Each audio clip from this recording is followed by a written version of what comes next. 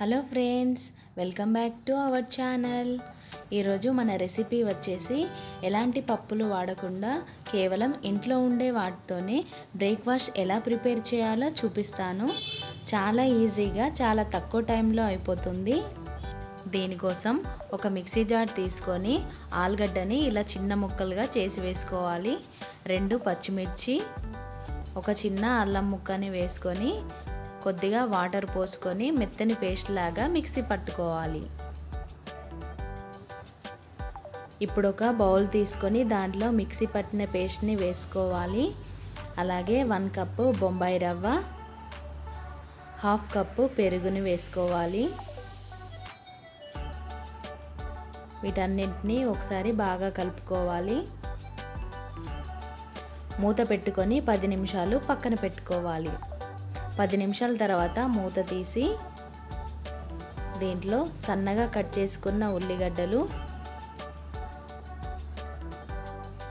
సన్నగా తరిగిన కొత్తిమీర సన్నగా తురుముకున్న క్యారెట్ తురుము వన్ టేబుల్ స్పూన్ సాల్ట్ చిటికెడు వంట సోడాని వేసుకొని వీటన్నింటినీ బాగా కలుపుకోవాలి.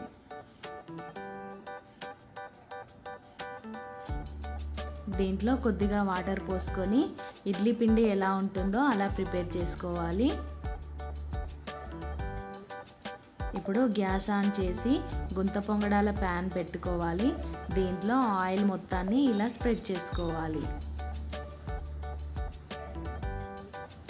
ముందుగా రెడీ చేసి పెట్టుకున్న పిండిని దీంట్లో కొద్ది కొద్దిగా పొంగడాలలాగా వేసుకోవాలి.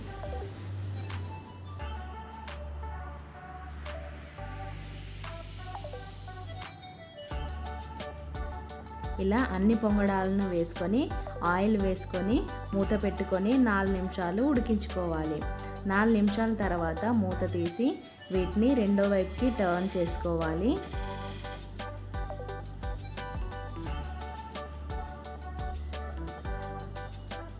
ఇలా అన్నింటినీ రెండో వైపుకి టర్న్ చేసుకున్న తర్వాత మళ్ళీ ఒకసారి మూత పెట్టుకొని నాలుగు నిమిషాలు ఉడికించుకోవాలి.